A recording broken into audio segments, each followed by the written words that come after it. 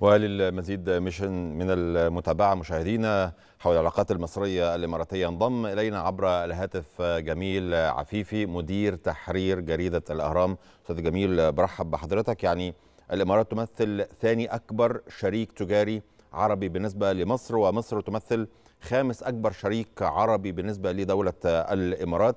كيف تقيم العلاقات التجارية ما بين البلدين في الوضع الراهن وما هو المأمول مستقبلا؟ هو في البداية طبعا لازم نعرف أن العلاقات بين مصر ودولة الإمارات العربية المتحدة هي علاقات تاريخية ويعني زادت وظهرت جلية بعد ثورة 30 يونيو والدور اللي قامت به دولة الإمارات العربية المتحدة مع الدولة المصرية نعم.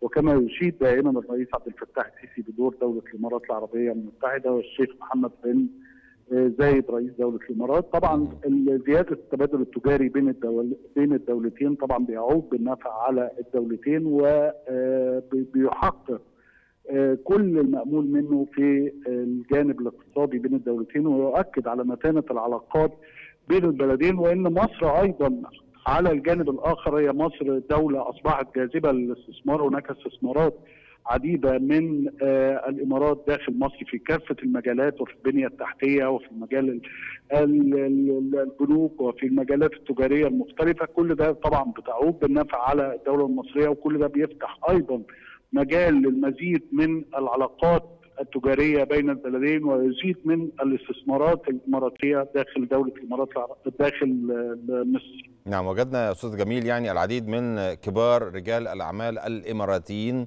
يعني يعلنوا عن وصولهم إلى مدينة العالمين الجديدة للبدء في استثمارات في مصر. طيب يعني هناك تطابق في الرؤى ما بين مصر والإمارات في العديد من القضايا. في رأيك كيف يسهم ذلك في تعزيز العمل العربي المشترك لمواجهة العديد من التحديات الإقليمية المتنامية يعني؟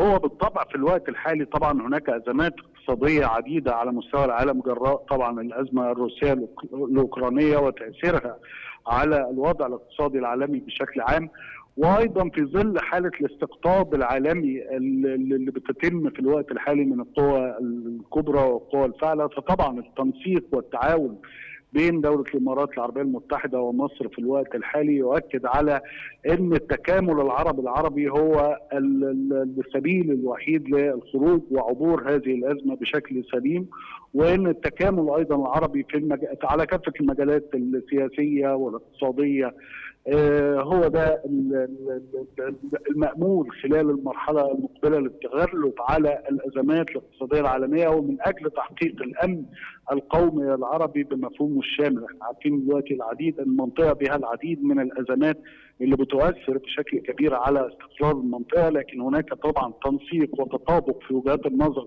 بين مصر ودولة الإمارات العربية المتحدة في كافة المناحي السياسية والمناحي الأمنية في المنطقة وهو التنسيق العربي العربي أيضا.